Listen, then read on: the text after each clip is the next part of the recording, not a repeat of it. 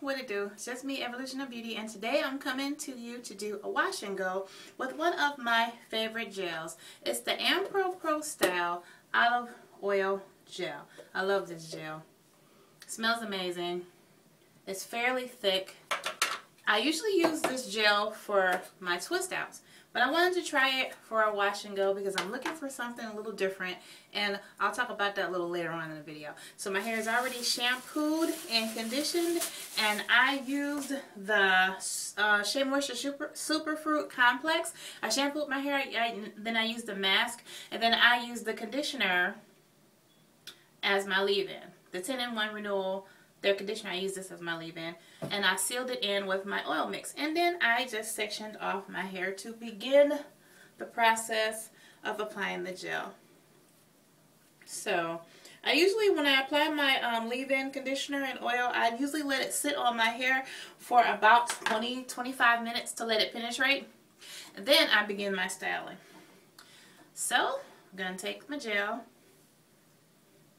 and I'm going to start to layer the product from the back like I normally do.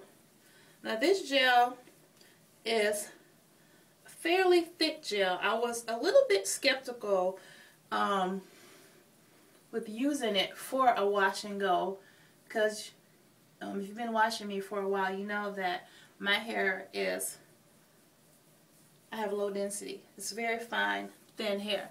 So very heavy products for wash and goes leave my hair very limp, lifeless, and stringy looking. So I kind of stick to products that are lightweight as far as gels are concerned. But I did try this on a small section of my hair just to see what it would do. And I said, well, let's just try it all over and see. I mean, what could, what what harm could it do except look crappy and then I just have to wash it out.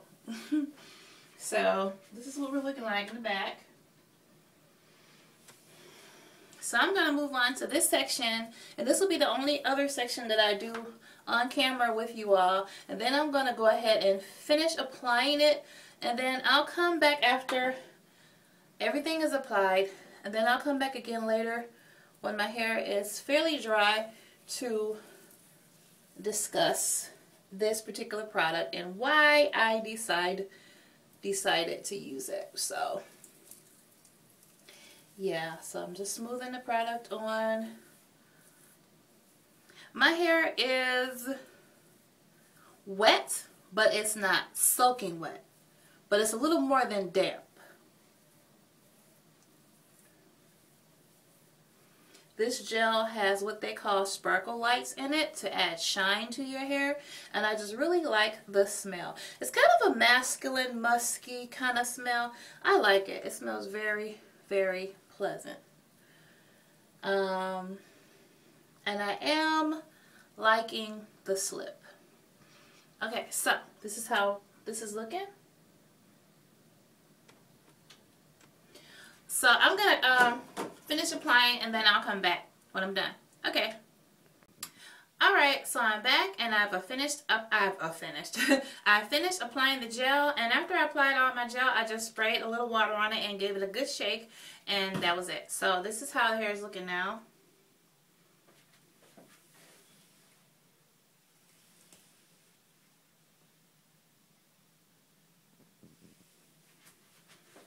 On the other side. So, I'm going to let this dry and see what I come up with. I am hoping and praying that I get great results and I don't get any residue and I don't get any flaking from the mixing of the leave-in and the gel. So I'll be back when my hair is about 80 to 90% dry and then we can further discuss the reason why I'm trying a new gel. Alright, in a minute. Alright, so I am back and my hair is about 85% dry and this is how it's looking. Alright, so on to the reason why I decided to use a new gel for my wash and goes. Okay, so if you've been watching my videos for some time now, you know that Garnier Fructis Pure Clean Gel was my absolute favorite staple gel for wash and goes. It dries fast. It leaves my hair with a nice shine. It doesn't weigh my hair down too much. And it smells good. And it has a super strong hold. I absolutely love this. Well, you also know that I have changed my regimen. And I've changed a little bit of the products that I have been using. Namely, my leave-ins.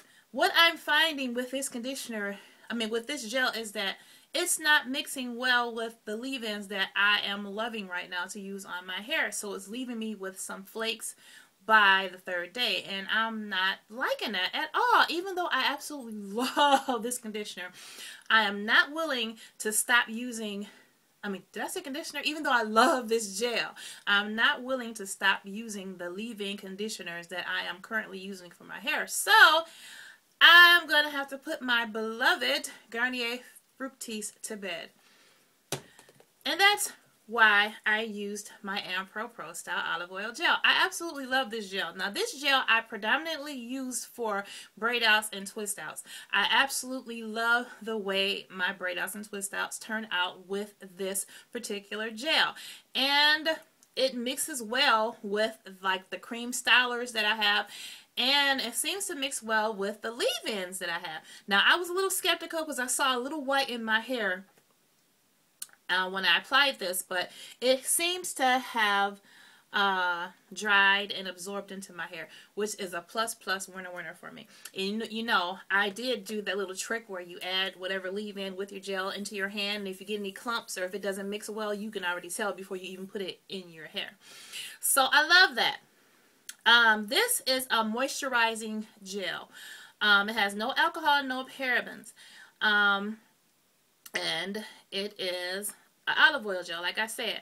Now, this gel is very, very thick and very, very heavy. Mm, it smells so good. As you can see, it's very thick and very heavy. Not like your Eco Styler at all.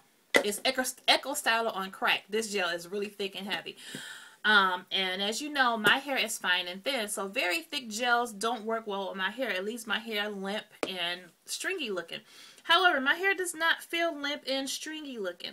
What I like about this gel versus the Pure Clean gel is that it gives me a strong hold, but it's not a super crunchy hard hold like I get from the Pure Clean gel, which I really like. When I use the Pure Clean gel, of course, I love the fact that I can get like a four to five day wash and go. So I'm hoping that I get a four to five day wash and go with this as well.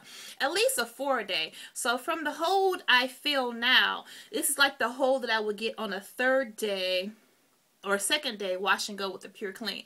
So i'm thinking that this will at least give me up to a three day wash and go and that is fine with me because i'd rather have a three day wash and go than have a wash and go that has flakes in it.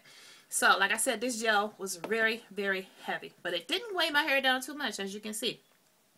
Now let's compare this gel to one of my older loves the Wetline Extreme Gel. I had a serious love affair with the Wetline Extreme Gel. I still like the Wetline Extreme Gel. It smells amazing. It is very thick, just like the uh, Ampro Pro Style. The only difference between these two, well, not the only, there's a couple differences between these two gels. Number one, the Ampro Pro Style has slip. The Extreme Gel does not have enough slip at all for my hair it just it really kind of feels like no slip. So it like since my hair is fine and thin I have thin hair strands it it doesn't have enough slip to just glide through my hair. So I feel like I'm tugging on my hair when I add the product. Not to mention it seems to be a bit thicker than the Ampro gel. So I'm gonna just see on my hand. Well you know what this is the Wetline.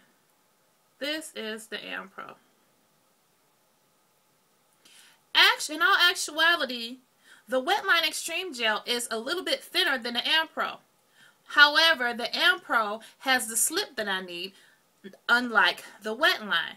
So if the Wetline and the Ampro had a baby, it would be the exact match for my hair. But since this Wetline is heavy just like the Am Pro but has no slip, I can't really use this um, Wetline Extreme Gel because it just really weighs my hair down too much. Not to mention, when this dries, it gives me a super duper fir firm hold, much like the, the Pure Clean, but even more so. So, I'm not really a fan of that too because I like the movement and the body and the bounce that I get in my hair from just using a lightweight gel. So that's why I had to end my love affair with the Extreme Gel. Even though I liked it, it clumped my curls amazingly. It gave me a nice shine. And it did mix well with most of my uh, leave-in conditioners and stylers. It just weighed my hair down too much and didn't have a lot of slip. The AmPro is my new love now. This will be my new one of my new stylers for my wash and go since I have to give up my Pure Clean. I absolutely love this. So if you guys have ever tried the AmPro, leave me a comment below and let me know what you think of it. And uh, maybe this little review has helped you if you looked at it um, in your local beauty supply store and maybe thought about picking it up. It's much thicker than the uh, Eco Styler Gel. Um, it's a little bit it's a little bit thicker than the Wetline Extreme Gel even, but it has more slip and it's more moisturizing. Alright, so that's it, you guys. So I hope you guys have an awesome day. Until the next video, keep it shining. Peace. Bye.